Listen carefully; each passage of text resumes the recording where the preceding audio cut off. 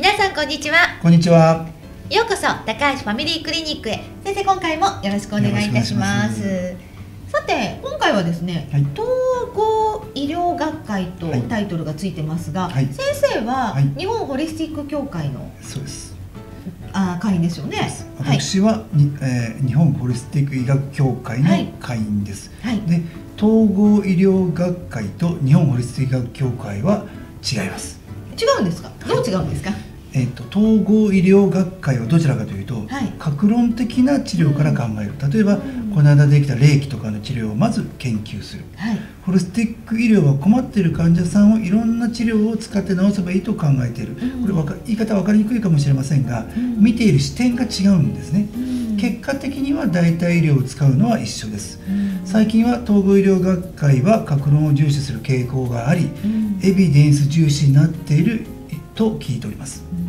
じゃあ代替医療を使うことは一緒ということで、はい。今回は合同だったんですか？そうなんです、うん。11月25日とはい。26日に、これ年に1回の統合医療学会が行われたのですが、うん。その責任者となった川島先生がですね、はい。西洋医学だけでないうん。代替医療を扱っているこの両者を初めて一緒に入れましょうということになり合同となったと聞いていますテーマが最近のエビデンス中心の医療でなく患者中心患者中心の医療となっており、うん。先進的なテーマでしたね。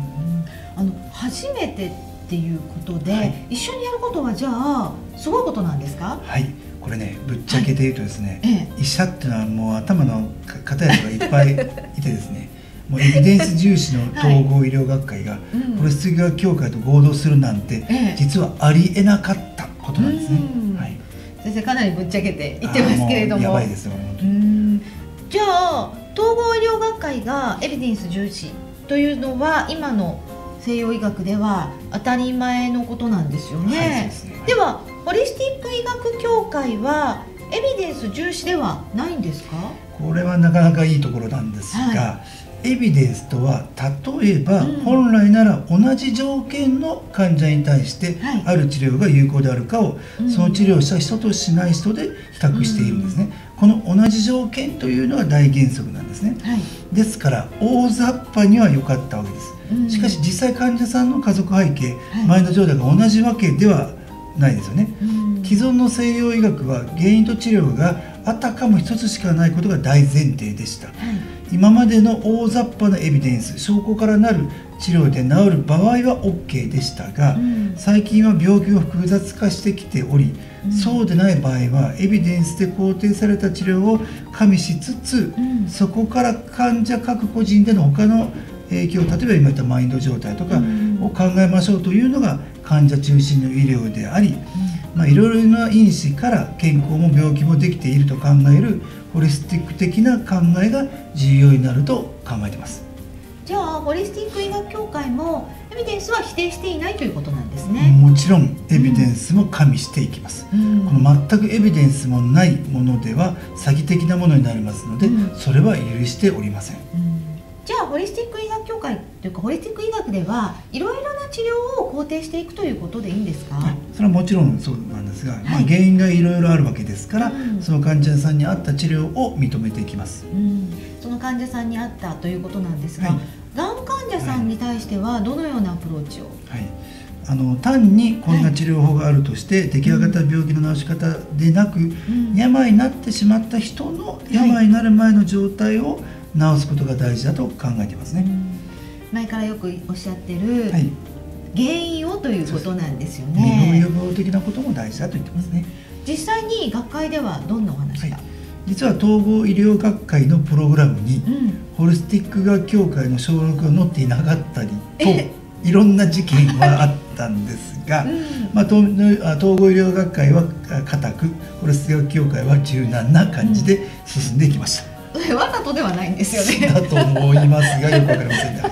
はいあの先生も参加されたんですよね。あの私は土曜日の外来を、はい。えー大師の先生に10時頃任せてうん。東京に行きました、はい。そして疲労肥満睡眠運動食生活の最新知見、うん。ホリスティックな健康指導のためにというプログラムで、私と、えー長堀先生が座長でうん。3人の演者目黒先生佐藤先生宗田先生が発表をしました、うんあの内容はどうでしたか？最初に目黒先生が発表し、脳科学から見た生活習慣病でした、うん。とっても科学的でした、うん。心が脳を変えるという話でした、子供の頃の食事が大事だとか、うん。自立した生活が必要。糖尿病と認知症が関係しており今後の研究課題になるとのことでした、うん。まあ、私も絡めたいと思いました、うん他の講演は、次があの佐藤先生でして、はい。肥満は熟睡して痩せる。ほということでした、まあ、タンパク質はしっかりとってうん。体を作りましょうというお話でした、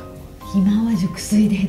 まあ 飛びついた方いらっしゃるかもしれません。寝すぎてもいいかと思うんですけどですよね、他には？他には、えっと、宗田先生がですね、はい。糖質制限の本質とはうん。人間はケトン体と仲良くできるのかということでした、以前ですね、はい。あの宗田先生の書いた「ケトン体が人類を救う」という本を私は読みました、うん。まあ、従来の栄養学はブドウ糖善玉コレステロールや脂質が悪玉でした、うん。まあ、その結果ケトン体も悪ということになっておりましたね。うん。あの初めてケトン体って聞くんですあがあこれ何なんですか？あのーまあ、難しいんですが簡単に言うと、はい、通常は糖質を我々は主に消費します、うん。断食とかすると糖質が消費された後にうん。脂質タンパクが消費されると、うん。その結果出てくるのがケトン体だケトン体だと言われています、じゃあこのケトン体と人との関わりってどんなものが、あのこの宗田先生によるとですね、はい。ケトン体こそがうん。健康で長寿に大きな役割を期待しているものであることが、え最近急速に明らかになってきており、うん。断食や修行僧の瞑想状態はケトン体のなせる技ですと言われています。老化やがんの予防はい治療にもケトン体が果たす役割がますます大きくなっていくでしょうと言われておりました。えじゃあケトン体はがんに効くっていうことですか？はいこれはとても面白いところですがはい。がん細胞は実はケトン体が使えず、うん。糖質ばかりを使います。うんだから糖質を制限してケトン体をメインにすると、うん。えーがん細胞には栄養がいかないんです。うん。だからケトン食が効くんです。これ最近分かってきたことですね。他にケトン食が効くものってどんなものがあるんですか？これは国立精神神経医療センターがはい。ケトン食で高齢者の認知能力が改善することをうん。発表、発見し発表しております。うんじゃあケトン食ががんにも認知症にも効くんなら全員これ使ったらいいですよね。はい。そうそうですね。はい。まあまあそこはですねこれエビデンスだだけの医療となってしまい、はい。その患者さんにとっての治療方法が違うので、うん。患者中心の医療から行って、うん。まあ担当医とかによく相談してほしいですね。じゃあかかりつけの先生に私はっていう相談をしたらいいかと思うんですが、はい。これって、先生はい。に質問して、はい。皆さんこのはい。ケトン食とかケトン体って分かってらっしゃるんですか、はい。あの多分無理です。えダメなんですか？ね。実は私も、はい。まあ、最近、まあ、知ってきました、まあうん、この宗田先生の本も読んでおりましたけども、うん。まあ、ケトン食についてはですね、はい。糖質制限を推奨する医師ならおそらく知っているはずですから、うん。そこから調べて聞いてください。うん。じゃあ高橋ファミリークリニックはどうなんですか？もちろんあの糖質制限をやっておりますが、ただがんの患者さんのケトン食とかをそこまで推奨するまでには行っておりません、うんまあ、これからの課題と考えています、まあ、一緒に勉強していきたいなと思ってます。じゃあ今回のまた勉強会も非常に先生にとっては新しい発見がありためになったということでよろしいでしょうか、やはり日々これ勉強でしたので、はい。まあ今後もどんどん情報を求めて、勉強していきたいと思ってますそしてそれを私たち患者にはい。還元していただけるとありがたいと思ってます、はい。ぜひよはい。ろしくお願いします、先生今回もありがとうございました、ありがとうございました。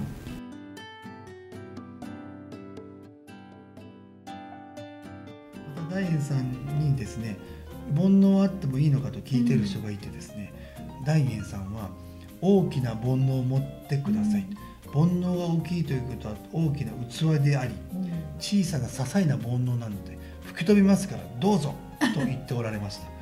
まあ前回番組でもお話しした大力ということですよね、まあそういう考え方もあるわけですね。そうですね。その後は、大体確か24時ぐらいにお開きになり、うん。2階の大広間で寝ました。うん。ちょっと寒かっいかがでしたか？たあの12月はですね、はい。当協会の理事飛田先生が開催される「命の波動」という講演会があり我々は講演サポートとしていたためそちらに参加しましたどこで開催されたんですか？名古屋国際会議場の白鳥ホールでした、うん。1500人ぐらいは入れる会議場です。ホールでしたね。かなり大きいところで、はい。じゃあどういった内容だったんでしょうか、内容はですね、はい。聞く触れる感じる、命の波動という題名でした。1000名ぐらいは